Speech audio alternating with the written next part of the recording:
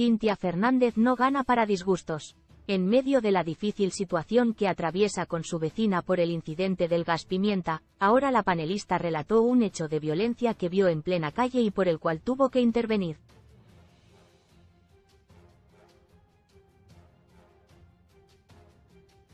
No saben lo que me acaba de pasar, es horrible. Había ido a un lugar, estaba manejando y veo que una mujer agarra de la cabeza a una criatura de la edad de mi hija y la empieza a maltratar muy fuerte, le sacude la cabeza y le pega con un palo en plena calle, evidentemente pensó que no la veía nadie, comenzó Cintia en sus historias de Instagram.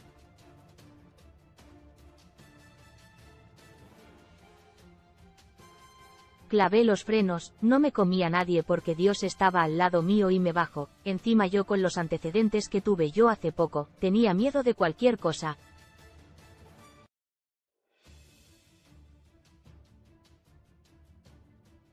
Si hubiese sido por mí, directamente, la dejaba sin hablar en el piso, continuó en su relato y agregó, la criatura llorando, dos menores más al lado.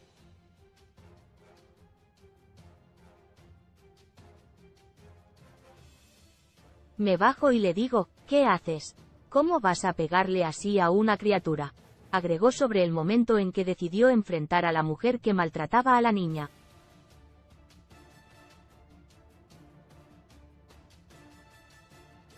Empecé a decirle que iba a llamar a la policía, enferma, de todo, y le empiezo a preguntar a la nena si quería que llame a la policía. Llorando me dice que por favor no le llame a la policía, que ella no le estaba pegando,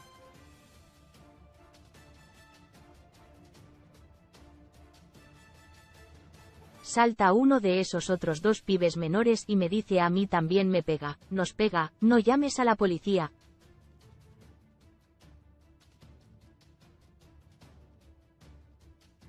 El desconsuelo de Cintia Fernández ante la situación. Evidentemente tenía miedo a lo que le haga después si yo llamaba a la policía, utilicé la aplicación y vinieron exactamente en un minuto y medio y nada, le filmé la cara de esta HDP, que no tiene otro nombre, se la mostré a los oficiales, contó Cintia Fernández, revelando que usó una aplicación de seguridad del municipio de Escobar y que le tomó fotos a la mujer que luego compartió en sus historias.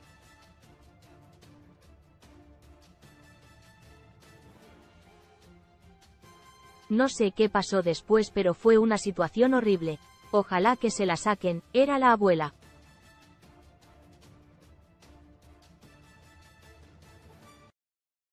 Ustedes no saben a esa nenita cómo la zamarrearon. Fue una mierda, continuó desconsolada ante la situación.